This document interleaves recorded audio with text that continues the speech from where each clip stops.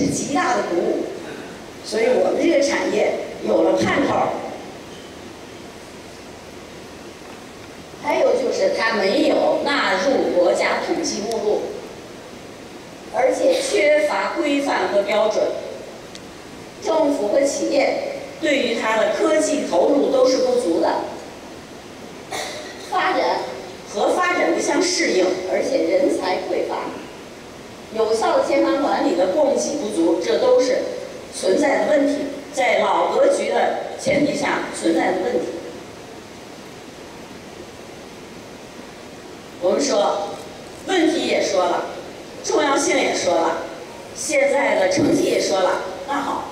我们通过努力，未来的格局应该什么样呢？比较理想。未来的健康服务业必将改变以医疗为主体的健康服务业的格局，要形成以医疗为基础和支撑，不是不要医疗了，是要它做基础和支撑，健康管理和促进。为核心和主体，健康保险为机制和纽带，相关产业全面发展的健康服务业的新格局。左手左边这个是现在的格局啊，我画的不一定准，比例不是比例啊，就这意思。呃，健康管理呃非常小，医疗非常大。呃，然后这头呢，未来的新格局应该是医疗服务还是那么大，或者是呢它发展的更好一点。而不是规模又大，而是它的质量好一点。尤其社区，它不能说老百姓能看上病、看得起病，看不好病也不行啊。所以呢，它是往质量上发展，往服务上发展。健康管理和促进呢，要大发展，一定要未来的格局应应该是健康管理的规模很大，做的非常精准，要量身定制。柔性生产，这也是供给侧改革的内容和要求。健康保险要，他就很很快就跟进了健康保险，因为它是商业保险。但是现在已经有人讨论做老年人的长期照护的保险。两年以前，我们到这个呃那个保险保保监会，我们到保监会去调研，跟他们讨论。就是说，你为什么不能开展呃长期照护老人长期照护的这个保险？然后呢，他就他讲呢，时机不够成熟，呃，这个有些公司呢觉得赔得太厉害，呃，大家买这个保险的那个呃积极性也不高。如果作为商业保险，如果作为强制性的保险，作为社会保险来说，觉得各方负担太重，说还没到时候。但是这两年发展很快，所以呢，将来这个健康保险会跟进的。实际上，跟进咱们的健康管理促进。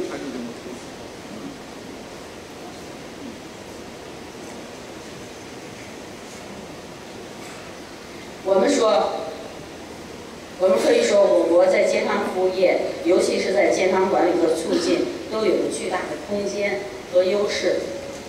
保罗·皮尔泽，美国的那个呃经济学家保罗·皮尔泽曾经预言，呃，将来未来在 IT 之后，在 IT 的产业发展产业之后，就是保健行业的空间，会造一个造诣产业的行业，这是他当时的预言。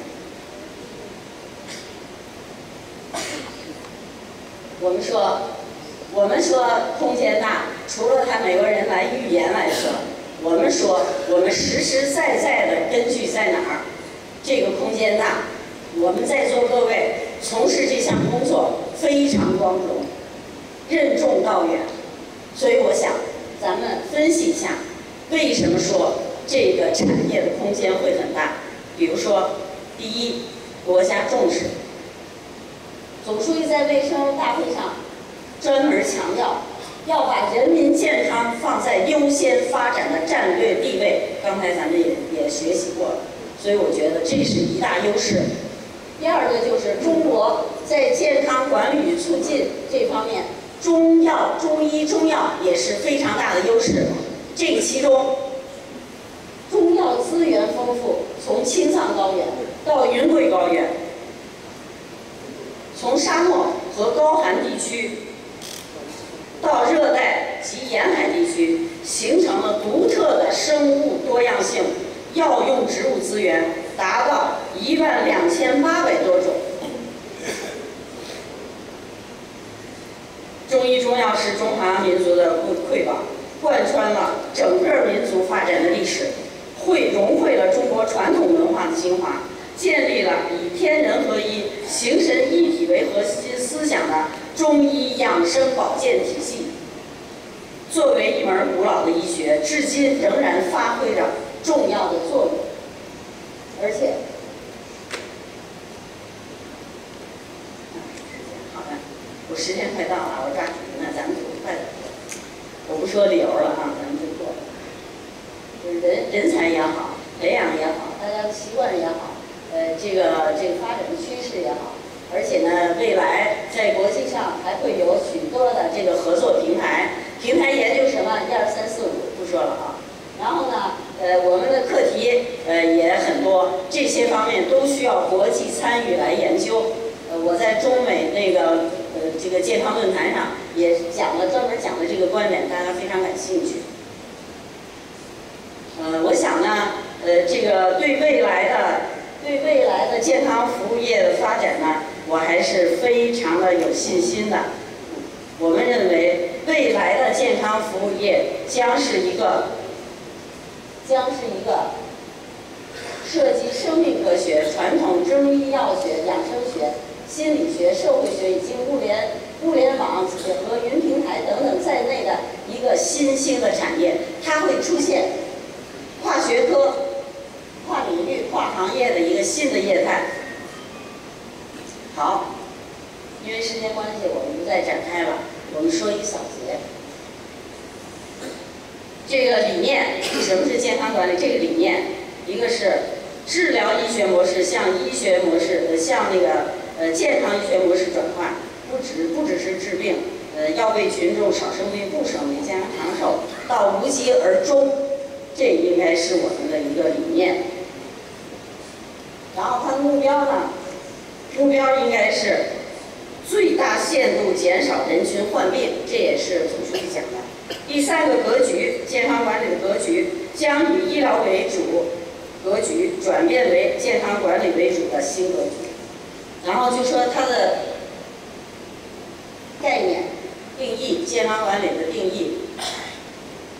然后就是健康促进，什么叫健康管理？什么叫健康促进？健康促进呢，它是一个行政的或组织的手段，这是这个国际卫生组织同意的这个概念。然后呢，广泛的协调社会各有关部门以及家庭、社区、个人。使其履行各自健康的责任，达到降低疾病风险、实现少生病不生大病的目的。这个呢是健康促进，但健康管理不是。健康管理是对这些人群他的健康状况进行监测、分析、评估，提出健康咨询和指导，建立档案，慢病控制、环境健康、心理健康、生活方式、运动活动的介入干预的过程，叫健康管理。我们对于老年人的服务，实际上是一个健康管理的重点人群的服务，也应该是这样的管理。第六个，我说，医疗和非医疗是各自独立的，但是又是相融合的。为什么？我们尤其是医疗之外的。医疗人也应该了解我们是做什么，非医疗应该做什么，这件事儿非常重，非常重要，否则的话你就非法行医，又又错了，是吧？本来你是想做好事儿，结果呢你非法行医违法了，所以这件事儿我们一定要分清楚，医疗服务呢是解决。国民基本和非基本的医疗问题，非医疗服务呢，则是。提高生国民的生活质量和生命质量的这样的解决，降低疾病风险，降低疾病风险，不是治疗疾病，达到少生病不生大病。所以这两个要分开，但是这个中间有融合，二者之间有融合。今天不讲，再说融合，就未来的融合，我就说个题目吧。未来的融合应该是健康管理机构和医疗中心结合，这我都有案例的。健康管理机构与社区养老的融合，这里头有政策瓶颈，我们已经提出来了，有的省已经突破了，安徽省就已经突破了。然后就是争取。各方面的政策、用地、税收、金融、民政补助、医保支付、健康保险等等的政策的支持。这次总理在这个健康大会上也提到了给予用地优惠、税收优惠、金融优惠。所以我觉得呢，扶持我、支持我们这个健康产业，作为中国经济的。重要的支撑产业，这不是健康管理的支撑啊，这产业要变成国家经济的支撑产业。第八个就是机构的设计，我想呢，呃，这个机构设计，这个大家都非常的开放，有实验经验。比如说健康管理中心呐，它干嘛呢？建档啊、查体啊、咨询啊、营养的方案呐、运动方案、观察啊、调整啊等等。这些工作，还有就是有的叫健康驿站，呃，它的咨询介入、理疗、食疗、营养配餐等等这些，呃，这个旅游生态农场，呃，参观养老，呃，社区养老中心、日间照料中心，有一个美国人，他搞了一个圈儿，然后告诉我，呃，他最挣钱的不是不是老年公寓，也不是机构养老，呃，他也不是老年医院，也不是老年康复，是日间照料。还给拿出账本给我看。第九个是定位人群，我想定位应该是社区家庭，这个大伙注意，不光是老人，应该是家庭，或者是或者是中老年人。未来要建设健康社区、健康单位、健康学校、健康城市，才能支撑健康中国，对吧？但是健康中国的细胞要做好，我们就可以做这个工作。再有就是机构布局，呃，那个这是我一一家之言啊。我认为咱们的那个产业，咱们的那个连锁的布局最好是和行政街道社区相一致，这样你可以享受有关的政策，也好聚集你的客户。还有就是基本那个健康管理，然后就是。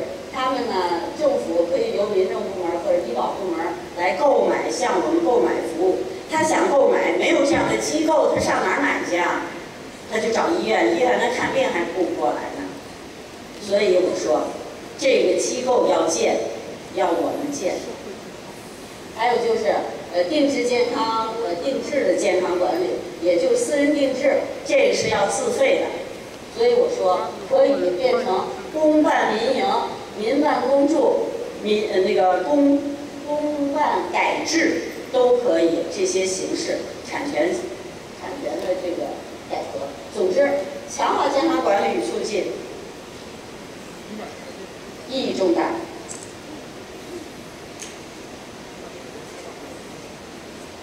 这个是满足消费者健康需求、减少直接医疗开支的最佳选择方案。健康管理需要用产品，所以呢，大力促进支撑产业的发展，是满足供给、拉动消费、解决就业的一个重要途径。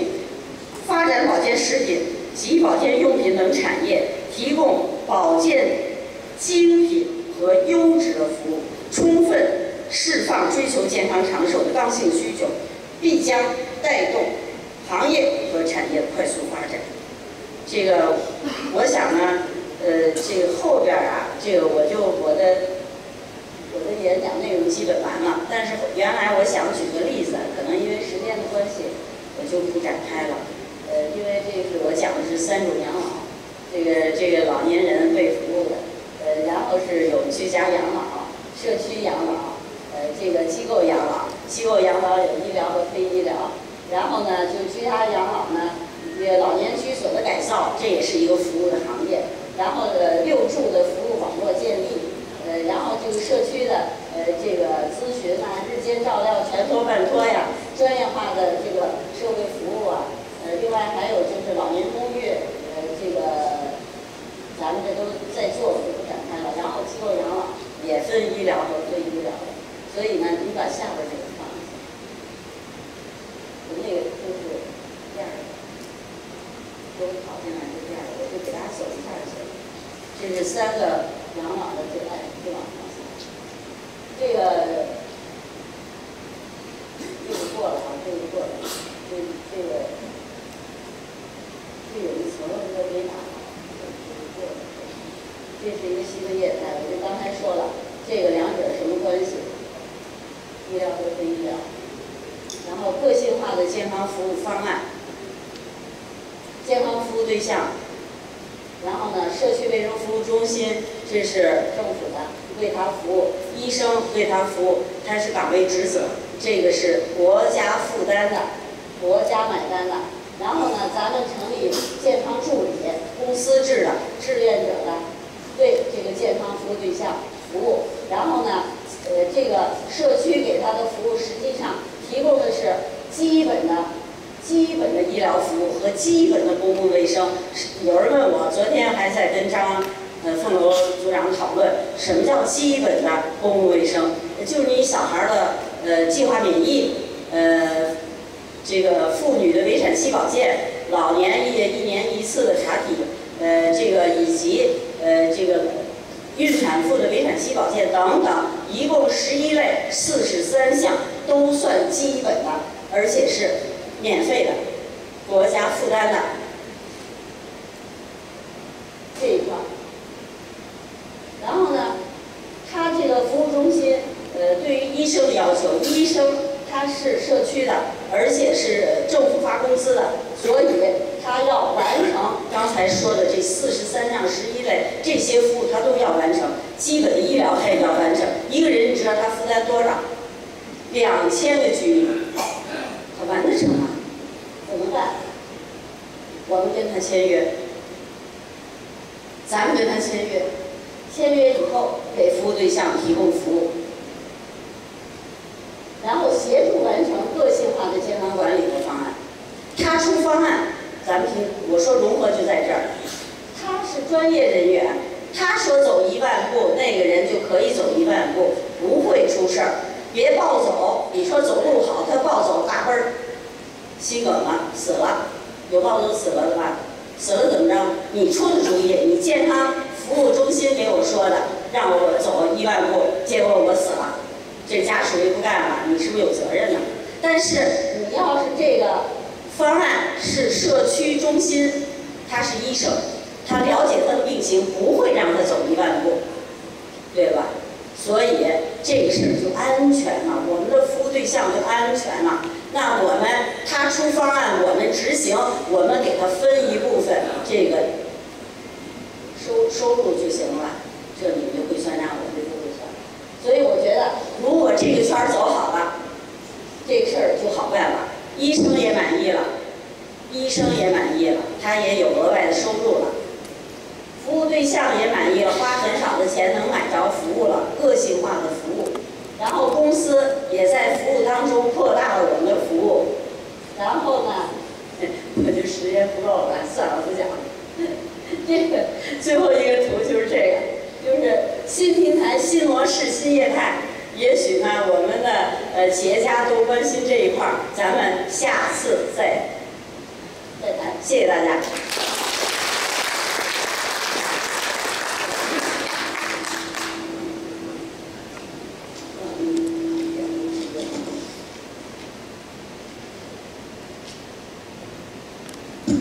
好，谢谢秦理事长精彩的对健康服务业的发展新格局的解读。好，再次把掌声送给理事长，感谢您精彩的解读，谢谢。好。由于今天上午和下午呢要发表演讲的朋友特别多，所以我们接下来呢每个人的演讲时间严格控制在十五分钟。十五分钟时间到，我会站立起来给大家做一个提示啊，请大家严格控制时间。好，接下来我们用掌声欢迎国际 INGO 组织世界绿色气候机构总议长李宇成先生上台来做主题演讲，大家掌声欢迎。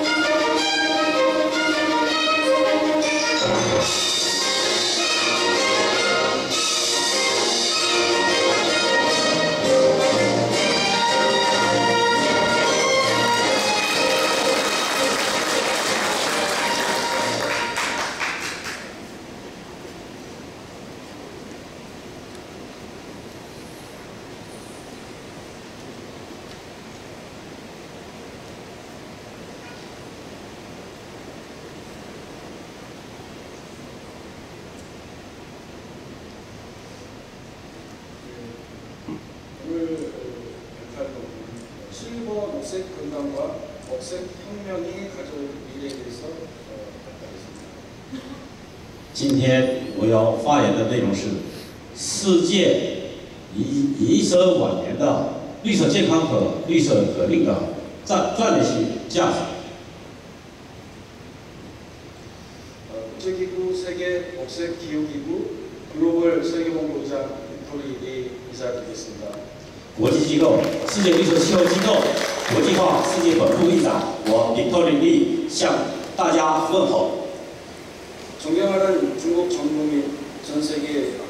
尊敬的中国国家老龄委国家商务部中科院老专家技术中心中国保健协会中国建设银行养老基金公司中国自贸区联合会中国东东盟经济文化联合会等部委协会的有关领导，国际 INGO 世界绿色气候机构、韩国大使馆、韩国乐博研究院、意大利上会和美国、澳大利亚、台湾等国家的地区和国家的相关组织代表们，以及中国及韩国的企业家们，非常感谢欢迎你们的参会，给会议的场面和氛围增添光彩。창조적 파괴자들이 세상을 이- 바꾸는 내용입니다. 创造性的破坏者改变世界，创造性的破坏会借成功的革命，在世界上不存在永恒的企业。 성공적 也就是说，因为有了创造性的破坏者， 세상에 其企业的名次 영원한 会发生变 존재하지 化。 않습니다. 过去追求的商业法人来说， 그 英国的东印度公司在投资方法和投资者保护方面， 采取了在短时间内偿还投资资金的方法，但还是没有成功。但是在在同一时间起步的荷兰因为民主主义。而开始了公益的公司召集了不同人的一位又一位的投资者，还号召当地的市民一起开发土地，开始了一步一步的艰难的跋涉，最终摆脱了西班牙。治，成立了一个独立的国家——荷兰。从越过商业性的繁政、界限范畴，完成了成立国家。他们采用收买土地。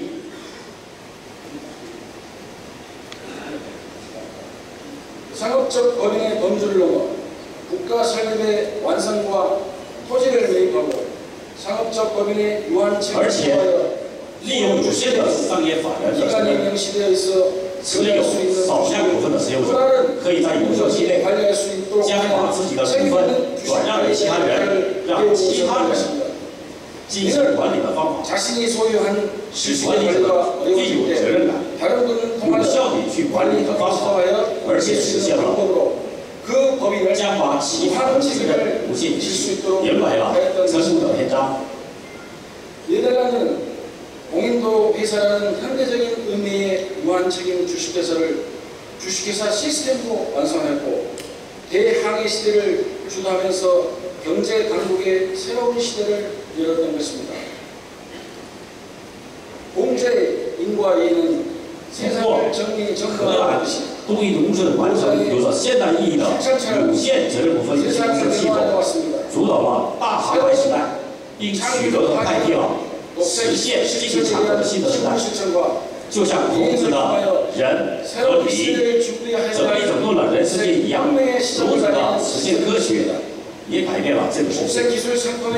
新的创造性的破坏是针对绿色技术的实现，通过开始履行有责任和义务的行动，准备新的时代，是暗示和启发新的绿色革命的开始。绿色技术商品的实现，是通过绿色通道。体现出新的经济时代，健康保健相伴的，由子孙后代相代代相传的，去完成任务，去完成有责任的义务和业务。目前，全世界的绿色资金都在保护地球的宇宙，有机体、无机体以及参与这个商品的绿色技术商品、绿色企业、绿色医疗。个绿色健康的方面，所有参与的开放绿地。绿色所在地的方面，才能使用国际绿色相关资金这样的内容，以为全国、全世界的各国代表全票通过，并制定成国际的协约。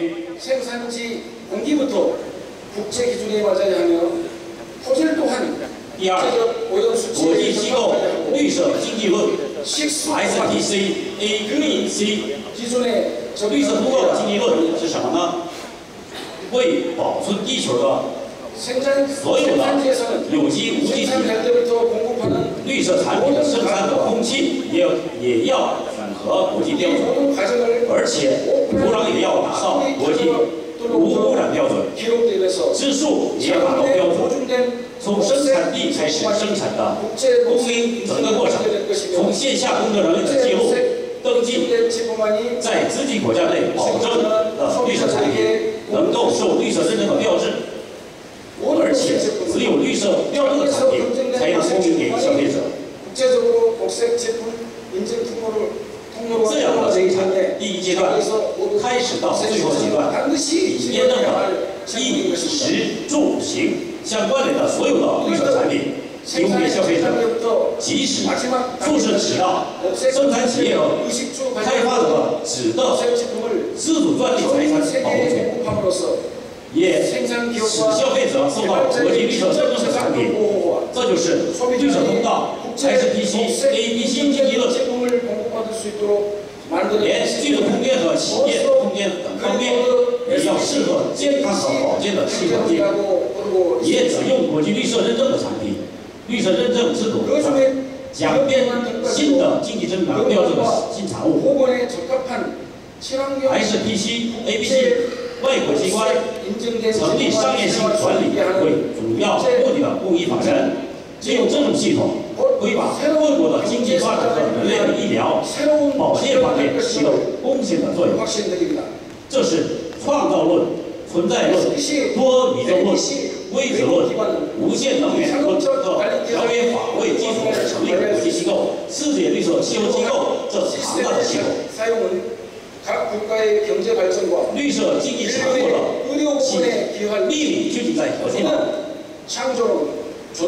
相互的关怀和融合，为沿来统一，没有突破相互关怀和统合为基础的新的绿色产品，革命的系统。不会成为成成功的国家。当前这个时期，外是各国政府的首脑对绿色地球、人类应有怎样的选择，而是深思熟虑的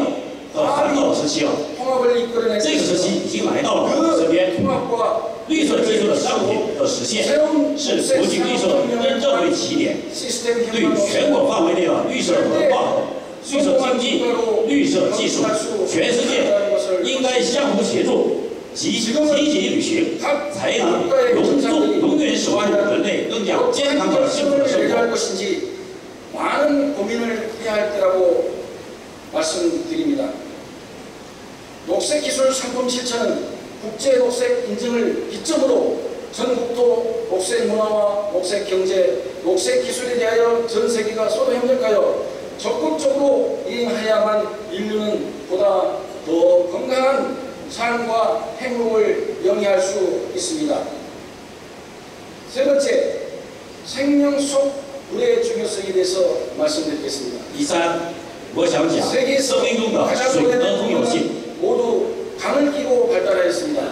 중국 황하강국에서 발생한 황하 문명 世界 또한 上 물의 最悠久的文化，其发展地得以江水为